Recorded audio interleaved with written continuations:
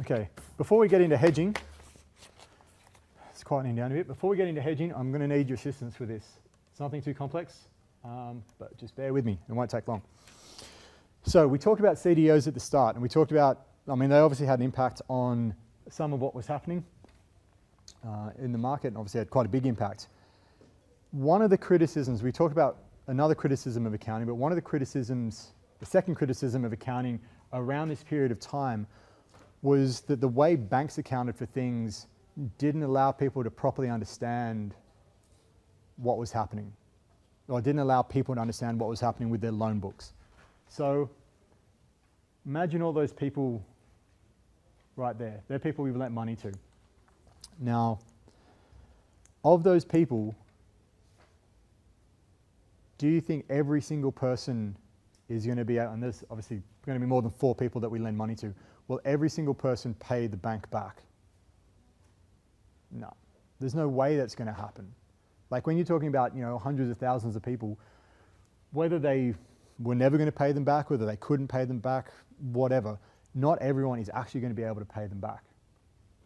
So, one of the problems with that is the model I'm about to show you, because this is how the banks used to account for things, um, or at least how most banks did. Now, whether or not they should have is a different issue.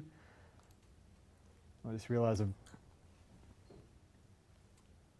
we'll bring this up. Okay. This is not something technically that we need to know for class, but I think it is something useful because it's picking up how, I suppose, the regulators are responding to things which are going on. Now, you don't need to understand most of what's going on in this. Christ, I don't even understand half of what's going on in this. But what is happening is, let's imagine you guys are all in the market for home loans. You guys, you know, you finished, you finished up here, you've gone off and got good jobs, you're making good salary, you go out, you want to get into the property market before, according to all the pundits, it just goes way too high. And you need loans to make that happen. So every single one of you need, requires a loan. Let's just assume I've got a fair bit of money. I'm one of the, did you actually see this? There are now over a million millionaires in Australia. Um, there are actually, there's, so there's quite a few kicking around. So let's just assume, just for argument's sake, that I happen to be one of those people and I've got a lot of money and I am willing and able to lend to every single one of you. Now, we're not trying to figure out who in the room isn't going to pay me back. But as you look around, do you think that every single person in this room is going to pay me back my money over 30 years? Don't have to point at people, but um, probably not. And again, may not be because you didn't want to. Maybe something bad happened, and hopefully it doesn't, but maybe something happened negatively over the next 30 years and it just wasn't possible. Who knows? But the way that banks used to pick up on that is what was, what was called the incurred loss model. So an incurred loss is when one of you guys that I've lent money to, when one of you guys actually default. So at that point in time, one of you actually default and I say, okay, oh, hang on, something's bad here and I go, then I show that. And I show all that loss at this point in time.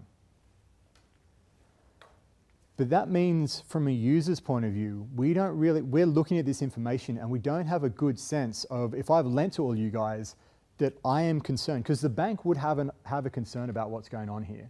And they say, oh, hang on, some of them are not going to pay us back. So what this model is trying to pick up on, and this is something which was issued this, this model, the red one, is what the IASB has proposed this year. This is what they, what they want to be able to do.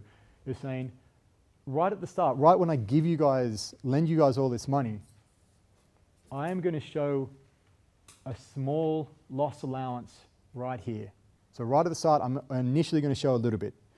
And it's going to stay pretty low until at whichever point I look at this, the loan book and I look at how the loans are tracking and go, oh, hang on, some people are starting to look problematic. At that point, for those guys, that would jump up quite substantially. Um, I'm pretty sure the FASB, I could be wrong with this, is the blue line. So the Americans are saying, yeah, we want to show stuff at the start, but we want to show a lot more. Um, you can see it sort of ends up being fairly similar afterwards, but there's just a divergence at this point. But all I just want you to take away from this is that initially during the GFC, a lot of those loans, no one would know there'd be a problem until that problem actually happened. Whereas what we're trying to pick up, or what the IASB is trying to pick up now is, okay, let's show a little bit of it now and let's let it track through and incrementally come onto the books. So we can kind of recognize that there is a problem. Ah, derivatives. So forwards, futures, options, swaps, we're not worrying about these. We're focusing, today we'll just be looking at forwards and futures. Um, in terms of the demonstration, there will be options in the tute work, but options work relatively easily in terms of how we do the accounting for them. We'll talk about hedges in a moment. So a futures contract, futures and forwards, for those that are doing finance, you're probably aware of the differences. Economically, and from, from what we want to get out of it for this subject, there's not that much difference. What they are is a, is a contract, that's important, it's a contract to buy or sell an agreed item, agreed quantity of an item at an agreed price at some future point in time. It's a futures contract, so you're going to do something in the future. It could be that, you know, I'm a farm, and this is how a lot of these things started. Commodities, you know, if, you, if you're growing, growing animals, if you're growing animals, shearing sheep, doing what, whatever it is, it may be some time between this activity of growing them and selling them and getting them to market. And there's a risk there that the market may fall out. You want to get some, some guarantee on price. You set up a forward situation where it's like, I will sell this X amount of wool or X amount of pork bellies or whatever it happens to be at this point in time, sometime in the future. And that way, look, you may end up worse off than if you left it to the market because the market for pork bellies, the spot price when you ultimately sell it could have gone through the roof and you've done yourself out a lot of money. On the other side of things, the market for pork bellies could have gone through the floor, in which case you're actually better off than had you done nothing. You win some, you lose some on that, but the idea is that you're taking risk out of the equation. I've set it up now, I know what price I'm getting, I can kind of ignore it. Uh, in terms of how they're delivered, and in terms of how they're traded, they do differ, but this, the essence of them work very similarly to what we need to be worried about. An options contract is slightly different. Um, whereas with a forward or a future, there is a contract and you, okay, no one goes through with delivery nowadays, but they will take an opposite position and close everything out. Um, with an options contract, you can have an option to do something, and if things look bad, then you just go, I don't want to do this. You could have an option to buy shares at $40 a share. And if when it comes time to exercise the option, the shares are actually trading at $20 a share and this is a buy option, why would you, ex- you wouldn't exercise it because you could just buy the shares on the market for 20. So you just don't run with that option.